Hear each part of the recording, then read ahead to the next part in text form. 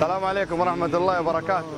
الآن إحنا قبل الغروب والواحد إذا شاف شروق ولا غروب أبغى يتذكر قبل قول الله سبحانه وتعالى وسبح بحمد ربك قبل طلوع الشمس وقبل الغروب.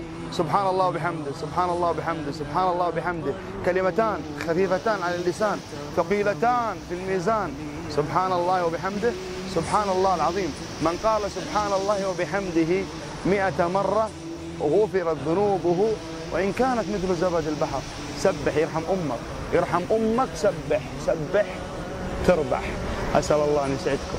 السلام عليكم ورحمة الله وبركاته.